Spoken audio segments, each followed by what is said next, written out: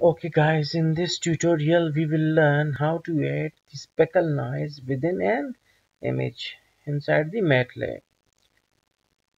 So for it, first of all, we will make a GUI that is the graphical user interface. So for it, first of all, you need to write guide within the command window. So actually uh, what's the meaning of guide? GUI is for graphical user interface and DE is for development environment. So press enter and it will lead to you the guide quick start. Then press ok. And here we will get our platform for creating a GUI for speckle noise. So first of all we need a topic that is the what you can say the title of the GUI so go to the background color and change it to black and uh, font size font size of the text must be 20 font weight must be bold for better visuality. And uh, this static text must be speckle noise. So in in a MATLAB image. Okay, also foreground color. So we must have to choose foreground color as orange. So okay, now we can see that we have developed a title. After it we need to take one push button and drag it inside the platform or this uh, GUI window. Double click on it and uh, change its title from push button to speckle noise adder so enter and cut it. So we we, we made our button then used to take these axes two axes one here and one. Uh, you can make the other one by control C and control V. So okay now we have two axes in which we will show original image and then uh, corrupted by the noise. So okay right click on this button go to view callbacks and then click on callback. Also save it the name is noise 2 or noise 3 or save. Okay now we are in the callback of push button 1 so here we will take a variable like p any random variable. It is not that it you, you must not uh, have to necessarily declare it as p. You, you you can write it like k or anything like that. So also write imread of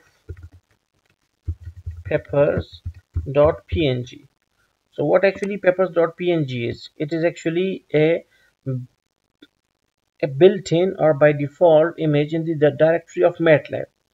So that is why we are reading it. Image read is doing the reading of this image of type .png and all the image will be stored inside the K inside the K so im show of K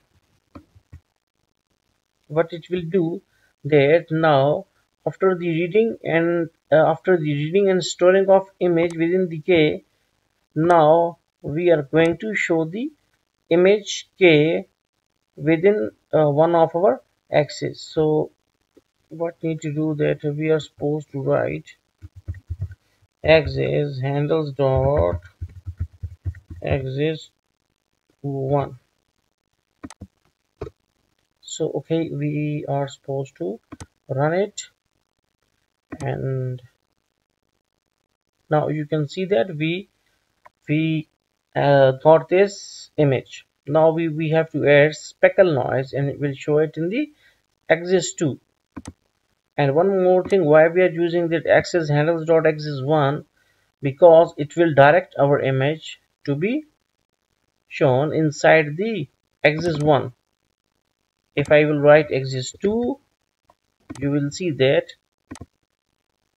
it will be inside the axis 2 so let it be axis 1 again control C and control V and here write axis 2 now uh, we will add some noise. So declare a variable noise uh, underscore s that is speckle is equal to so noise underscore s is just a variable. You must have to uh, like uh, understand this thing that these are just the variables like noise underscore s and k and all these things. You can change them uh, it's up to your choice. So noise underscore s is equal to m noise. Now eh, what is m noise? M noise is actually a command which will add noise within the image. So here we will write uh, the image name that is k because our image is stored inside this k. Then what sort of noise uh, it needs to be added? That is the speckle and also set its intensity that how much noise you need. Okay?